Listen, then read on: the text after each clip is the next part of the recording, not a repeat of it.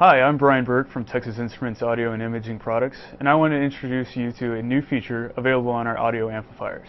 Many speakers and headphones are susceptible to excessive output power, which can cause unwanted clipping, distortion, or even complete speaker destruction. In certain scenarios, excessive audio output can even harm or damage a listener's ear. SpeakerGuard, a new technology from TI, provides an easy way to regulate the output, helping to protect the speaker and maintain consistent audio quality. SpeakerGuard relies on automatic gain control at the hardware level to limit the output to the speakers.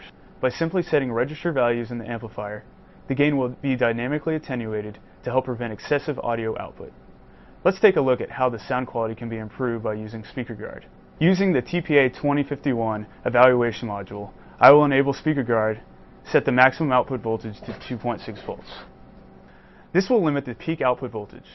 Now notice as I run this demonstration, the output clipping is controlled and dynamically reduced as the input becomes larger.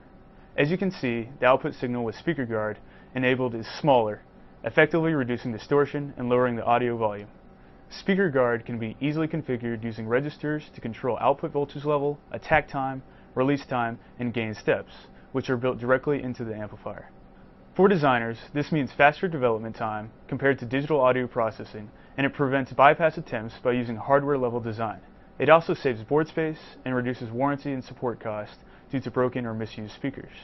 SpeakerGuard is a great solution for cell phones, laptops, small loudspeakers, or headphones.